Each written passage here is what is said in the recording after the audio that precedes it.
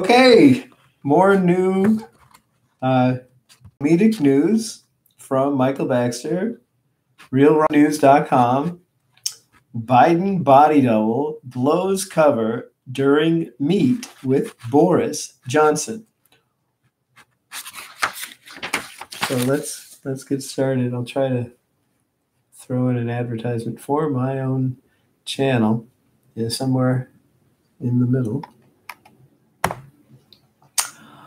Arthur Roberts, the 83 year old C list actor who portray, portrays Joseph Biden on television and in person, blew his cover during a televised press conference with UK Prime Minister Boris Johnson earlier this week.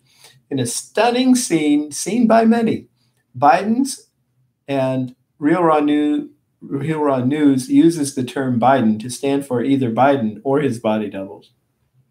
Biden's handlers abruptly and seemingly without cause ushered the press pool from the White House briefing room while Johnson tried to field questions from British journalists in attendance. The, su- the stunned press pool protested as security forcibly ejected them, clueless as to why they, the administration's mainstream media allies were being rudely told to leave.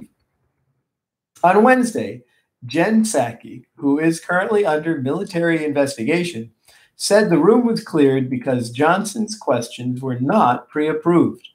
But a whistleblower in the fake administration's communications office revealed to Real Raw News what actually transpired during the surreal briefing. And as a shout out to my uh, to the listeners who listen to my audio clones, if you want to, uh, don't copyright strike my audio clones. I love my audio clones; they're free advertising for me. Do not copyright strike them. Uh, if you want to associate a face with this audio, then go over to Tom Youngjohn three. That's currently in the future. It might be four, five, six, or seven. Uh, but Tom space Youngjohn spelled just like it sounds, mm-hmm. one word, no space, Y O U N G J O H N, space, numeral three, currently. And back to the news. As reported previously, it is Real Raw News' contention that the real Joseph R. Biden has not been seen in public since shortly after the 2020 presidential election. The reason is that in early February, he suffered a massive stroke that left him brain dead and hospitalized at Walter Reed National Military Medical Center, where he has lain comatose ever since. Biden's deep secret handshake state handlers had had high hopes for Kamala Harris and had intended that she would succeed him, but it soon became apparent that she lacked fortitude and the mental acuity needed to coalesce the liberal base. Much to her chagrin, she was put on the back burner while the deep secret handshake state sought body double replacements who could play a convincing Joe Biden. One such find was Arthur Roberts, an obscure 80s actor whose capstone cinematic achievement was playing the evil ninja Braden in the 1984 martial arts flick Revenge of the Ninja. After that, he faded into obscurity, henceforth obtaining only minor roles in film and television productions until the deep state grabbed him as a potential Biden replacement in early March. Roberts, Arthur Roberts, no spring chicken himself and older than the genuine Biden, apparently has a touch of dementia which caused him to veer off script and raise suspicion in the eyes of Boris Johnson.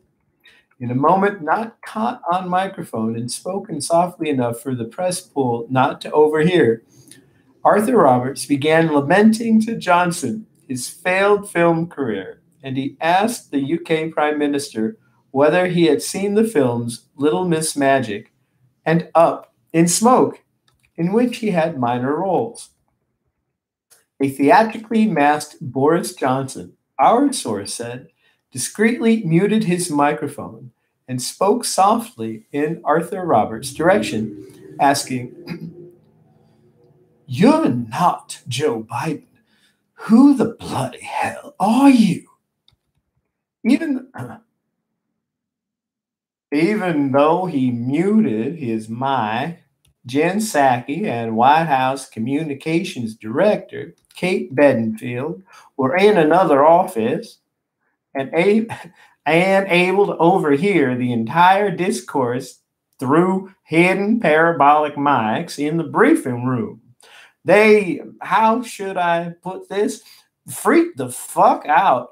They began screaming into Robert's hidden earpiece to get back on script or read only from the teleprompter. That's when Arthur Roberts silenced his own mic and told Boris Johnson he was only joking around. But Psaki feared the situation would deteriorate, and she immediately ordered the room cleared. Our source said. He added that a bewildered Johnson later asked Psaki, What the hell just happened? And was told to forget the entire incident unless the UK wanted to lose all US support. So, love God and be good.